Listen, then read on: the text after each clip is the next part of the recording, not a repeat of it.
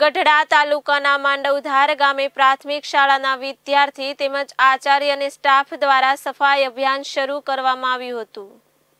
ગઢડા તાલુકાના માંડવધાર ગામે પ્રાથમિક શાળાના વિદ્યાર્થી તેમજ આચાર્ય અને સ્ટાફ દ્વારા સફાઈ અભિયાન શરૂ કરવામાં આવ્યું હતું.